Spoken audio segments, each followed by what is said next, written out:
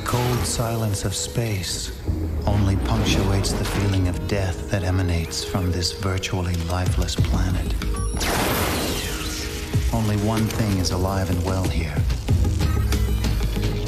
evil. And it must be destroyed, decimated, exterminated.